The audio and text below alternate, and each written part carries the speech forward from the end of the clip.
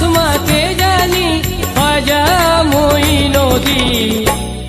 और सारी दुनिया दीवानी ख्वाजा